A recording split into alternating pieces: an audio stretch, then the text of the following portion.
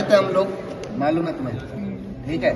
आज जो आ गए हम यहाँ रोमानिया में सेफली और जो ये लोग हमारे साथ काम कर रहे हैं मतलब ये लोग जो हमारी फैसिलिटी में सब चीज़ प्रोवाइड कर रहे हैं हमें कैसा लग रहा है? अच्छा लग रहा है? कई इंडियंस हैं जिनको इनसे थोड़ा कम मिला होगा कई हैं इनसे ज़्यादा मिला होगा जितना कुछ कर पा रही है इंडियन गवर्नमेंट पहले जिस सिटी में थे हम लोग वहाँ पे हमने बहुत बोला एम्बेसी ये नहीं कर रही एम्बेसी वो नहीं कर रही।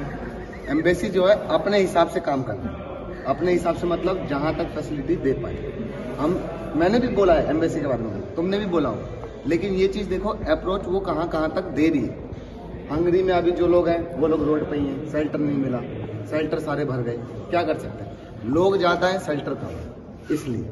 तो ये जितने भी गद्दे, टेंट देखा ही होगा तुमने फेसबुक पे डली है। सब इंडियन गवर्नमेंट ने भेजा है एयरफोर्स ठीक है? तो सैल्यूट उनको है सबसे पहले। थैंक यू मोदी जी बोल लो, सारे जितने भी चार मिनिस्टर आए हैं, उनको बोल लो। और आज की डेट में दनीप्रो के सारे स्टूडेंट सेफली दनीप्रो छोड़ चुके हैं। पहली बात तो ये। और जो खारकी में बचे हुए हैं, उनको भी टाइम दे दिया गया साढ़े नौ बजे तक का छोड़ने का। लेकिन पहली बात, जो फंसे हुए हैं यूक्रेन में, उन पे हंसना नहीं। क्योंकि तुम लोग सारे जानते रियलिटी जिस सिटी में हम लोग थे, वो तो सेफ़ भी थी। लेकिन दूसरे सिटी पे मैं देख रहा हूँ फोर्थ ईयर वाले ग्रुप में कई हैं बेशरम लोग, कह लो उनको, जो हंस रहे हैं लोगों पे जो लोग पहले इंडिया चले गए।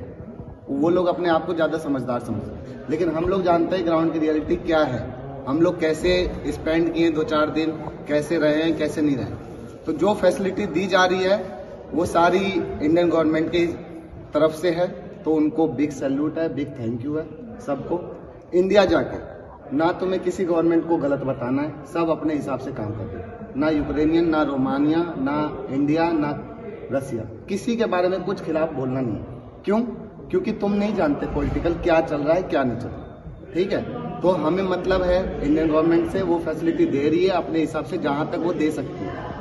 आज, अभी ये दो दिन पहले हम लोग आते तो हम लोग बॉर्डर की लाइन में ही खड़े हो क्योंकि फैसिलिटी तब थी नहीं। दो दिन से ये होने लग गया, जो सेंटर मिलने लग गए आज हमने बॉर्डर कितनी देर में ट्रायल कर दिया? डेढ़ घंटे। हो गया ना? लेकिन कई लोग ऐसे थे जो पैंतीस पैंतीस घंटे खड़े थे। तो उनकी भी सोचो, किसी पे हंसना नहीं। और दूसरी बात, यहाँ पे हो, साफ़ सफ़ाई का ध्यान रखो क्योंकि ये लोग हमारे बारे में इतना सोच रहे हैं तो हम भी सोचें। ठीक है? कोई परेशान ना करे इनको। हम क्या है? हम एक दो दिन बाद तो चले ही जाएँगे। ठीक है? तो इनकी सोच के ज़्यादा चिल्ला चोटी मत करो, ज़्यादा